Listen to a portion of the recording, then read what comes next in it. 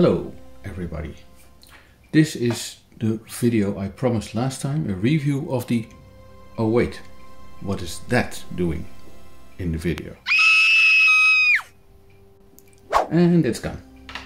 No plants or other silly objects in the video just because of the sakes of the video. So, my now beloved Polyend tracker and review at least my feelings on using it for like a week, um, especially the first couple of days. I worked on it a lot to get to know it. Created uh, a few tracks just to learn the basics of building up a track within this device. And discovered a few, a few things that I th think could have been better. And we'll maybe get here with uh, future updates or something and I discovered um, a lot of things that I really like in this incredible small packaged but huge machine instrument. Machine instrument. Okay machine instrument. So here we go. First of all navigating the uh, interface was way easier than I thought it was. Let me switch it on as well um, at first I didn't understand what these did, but when I did, you see I'm used to workflows where you select something and have to press confirm or enter button at some point to confirm your choice and this just switches instantly. I didn't understand why I couldn't get effects on notes until I read a little bit up and I noticed that you have to keep it pressed to do that. Uh, what I like about the effects is that if you add an effect here, let's say we do a panning here. Oh, wait, idiot. We do a panning here. When I go to the next one and touch it, it'll also get used the, the effect that you just used, but I don't know why it doubles in value here. I, I haven't found a pattern in it, but I've noticed that if you, you can quickly repeat the same effect to different notes, but they get a different value and I don't know where it gets it, but it's totally fine because you can of course easily adjust here. I think it must be possible, but I haven't tested it yet, to uh, copy just the effect. In fact, let me simply try. Yes, you can. So that makes it easier. I, I did that with notes, but I haven't done it with effects yet. Okay, great. So the copy paste function is very handy. Also very practical. It's just these two buttons, copy and shift to paste. Perfect. So um, that's about the interface with these four buttons that are major. What I liked as well is the ease to sample. The sample recorder is so easy to work with, it's incredible. I just um, got up from sampling um, one of my older synths, a few sounds that I want to use, and it's just so easy and it detects that you haven't pressed the key immediately, so it suggests the crop. Love it, perfect. Radio function is fun, however, a little bit um, limited in my situation because over here in this country there's not many FM stations anymore. And then of course um, now I'm um, all the way in the attic of the house. If I go down in the living room then it's even more limited because of the structure of these houses. Very um, concretey buildings. Um, to create a song perfectly easy. I had already seen this in several videos, so I understood that it wasn't going to be hard. Um, I have to say though, it would have been easier if you could uh, do a pattern choice with the dial, which you can't, or with the cursor keys, which you can't, which is understandable because you use them to navigate to the different positions there. What I also noticed is that you can actually go here and delete this track, but it deletes it from the pattern, not from the song, because the song is just patterns uh, chained together. So beware, because I did this thinking that in the song a certain pattern would play, but without this track, a specific track, And then I discovered that it had deleted the track from my pattern. Don't know if it's intentional in the software, but if you use it, be aware. Um, something I had to learn was to the switch between green and red, of course. If you own a tracker, you know exactly what I mean. Um, especially when working with notes like here. This did selections, tried to delete them, got frustrated, didn't delete, or and then when I had it here, I didn't know at first that if it's on uh, FX1 here, and I want to delete FX2,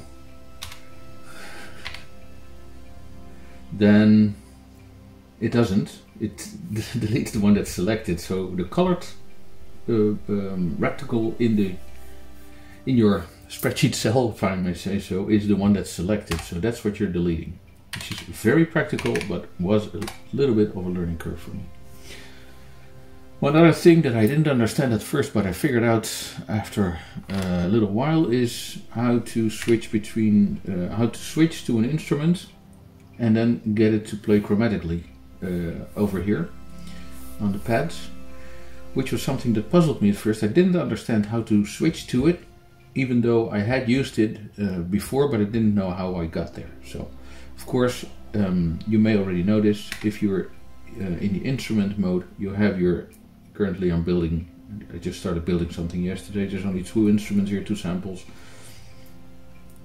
Choose one just by pressing it press the note button and now you have it chromatically here. Incredibly simple but you have to know in order to to use it. Um, sample loader um, it's um, easy I think it's fine but if I go and if I am, I just added a sample here and I go to, let's say, recordings. First of all, this is very odd. The enter button is here and I would expect it here because computer keyboards. Okay, it works. Now you can go and add, but then it doesn't jump to the next free slot, so you cannot quickly add, add, add. Now I have to do one little test here because I think... Ah, it's the add next button that does it. I uh, I had this in mind to tell you in the video, but uh, this morning I saw a video of somebody doing using this add next button, which I hadn't figured out what it was for yet. So that's the solution to, to this one. Very nice. This works perfectly. There's a few things I uh, I don't like about it, if you're here and you want to get out to a different folder, then you have to go all the way up and enter, which is logical but impractical. I would have liked to have an option to go to the top immediately or get a function somewhere saying go one folder back. Could be, could be really easy. Something else that I uh, didn't really um, that I don't really understand is this. Now, if I play, then I see my different volumes here, of course. And if you have several, of course, you will see more. And I can mute them here. Can be very handy, but I haven't really used that yet. But what I cannot do here is change the volume slider. And I don't know if it's my idiocy or it's simply not in the software, but I haven't been able to find it. And I went through the manual and the help pages on the Polyend site and I couldn't find it. And it would be super practical if that was here, because then you could easily influence, of course, the volume of each track. Now you can still influence the volume of each track, of course, because you can do that in the instrument parameters. But then you don't have the graphical overview of the other volumes, so you'll need to do the processing in your head of which one should be lower relative to another one. That's something that I don't understand why it's not there. So I'm uh, maybe it is there, but it's hidden, and I have to um, press a magic key combination to get it working, or um, it'll come in a future update. I hope so, because it would be really, really practical to have that. Also, it took a little while to find out that this has several pages.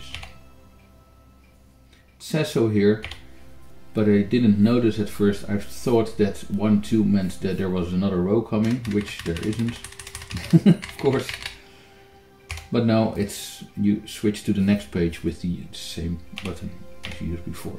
If you know it, then it works fine. Now, now we're in here. What I really, really, really like is the panning LFO. That is so practical to have it in here. Because of course you can do it on a per note basis. This is super handy to do it here. With step divisions, uh, as it, it is supposed to be an LFO, it has different um, waveforms and it works perfectly. It is very nice. That's great.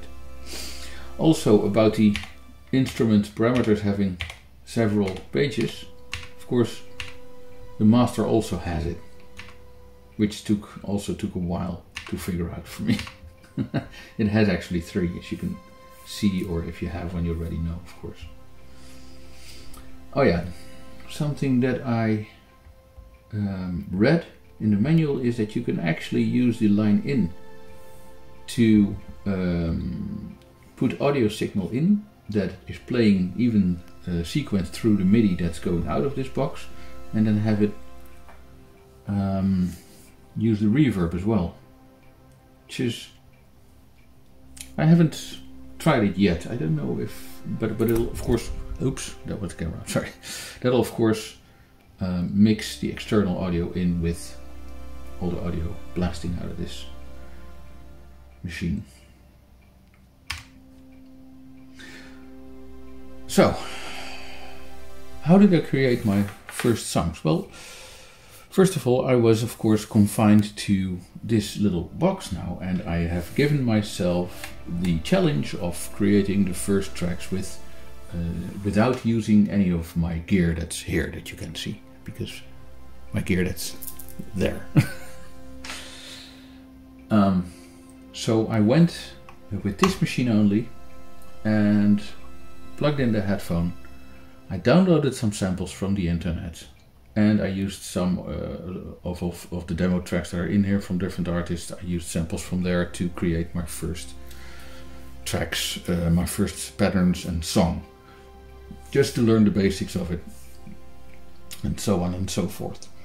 And a couple of things, of course, that took a little while to start to understand is that you can use the uh, ADSR for volume. Let me go there. That's here, the, the envelope. Um, that you can use that to sample just a very short waveform sound or whatever and then shape it into the sound that you want it to be. Um, very interesting.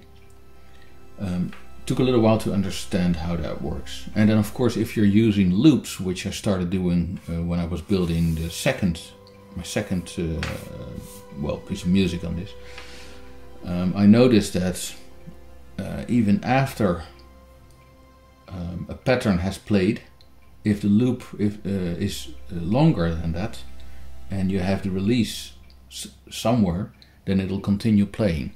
Which also, uh, if you chain the patterns together into a song, it will bleed over in the next pattern, which sometimes can be uh, great, sometimes can be annoying. Especially if you're using drum loops, it's annoying because it shouldn't bleed into the next one. And then I, um, it took me uh, a while to figure out how to tell uh, in a pattern, how to tell a played note to stop, which is of course the off parameter here. I discovered it because I uh, started recording uh, live. Use if you press the rec rec uh, record and play button at the same time, it'll give you a live uh, recording option in the sequencer and it does it for you. And that's how I discovered how that works. Um, and this was something in my head. I was um, a little bit uh, in the beginning. I was a little bit uh, not maybe not annoyed, but uh, disappointed that I was really confined to the different steps here. Because of course, if you start adding notes uh, using this editor like so, then see I can go here and add notes, of course. But they're all exactly one step. And I was worried that I wouldn't be able to make more flowing pads, um, ambient type um, progressions, and all that stuff. I've seen people do it in videos, so I knew it had to be possible. It had to be, uh, yeah, it had to be possible. But it took a little while to discover how to get that done. It does work, though, perfectly.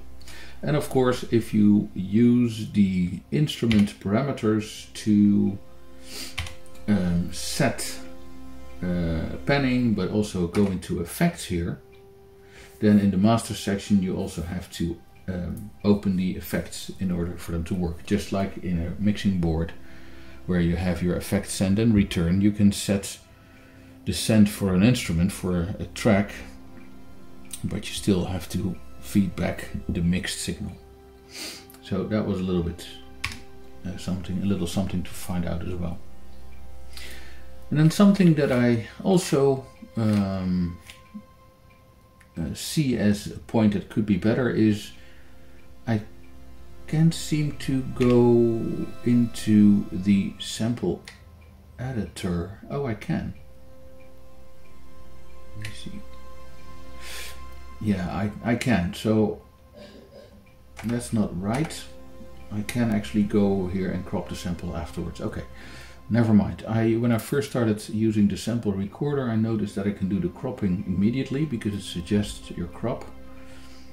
And then I, later I said to myself, well, if I go into the sample editor, I cannot load another sample to edit. So I figured I thought I would, uh, it wasn't I wasn't able to do that, but I am. So never mind that. I haven't used performance yet Of course I've used the file menu because I've opened, saved and exported uh, thingies. Oh yeah, and then the export function. There is an export function of course that allows you to export the song to uh, audio.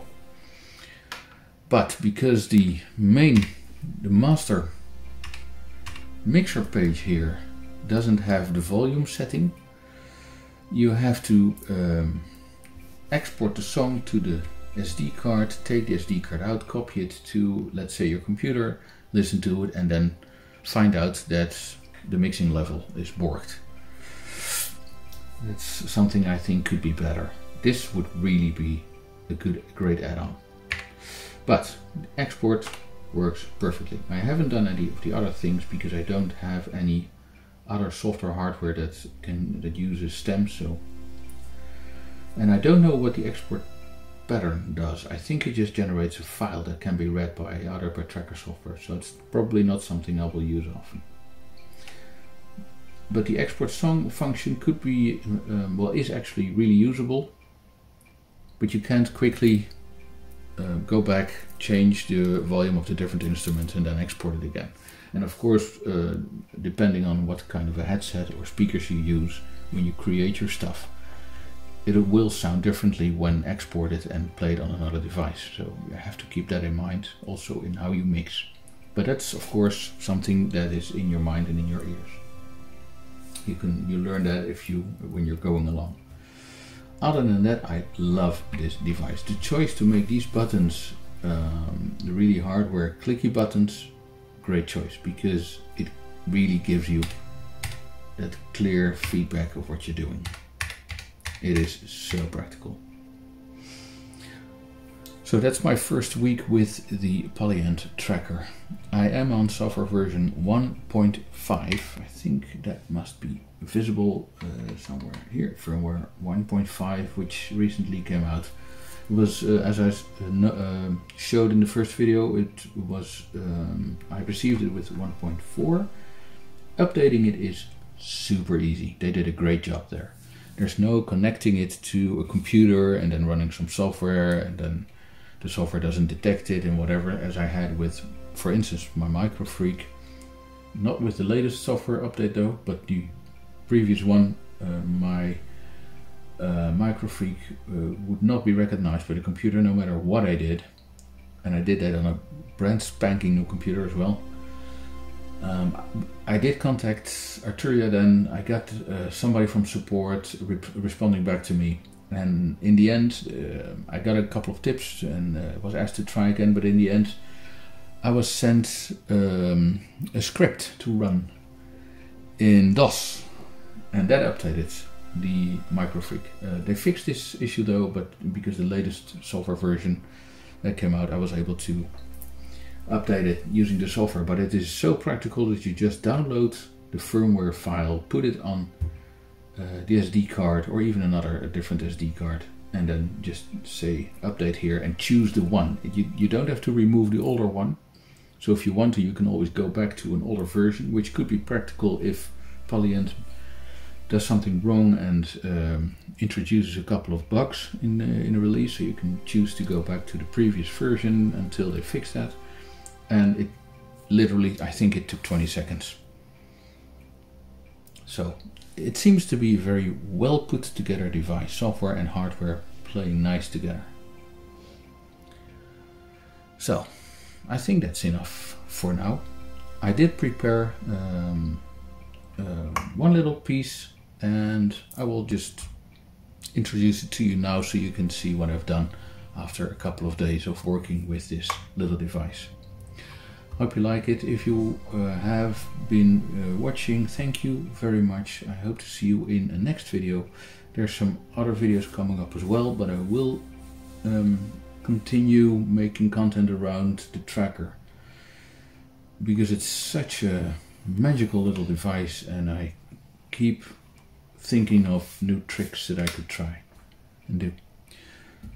Thanks for hanging around. Um, hope you enjoyed the track.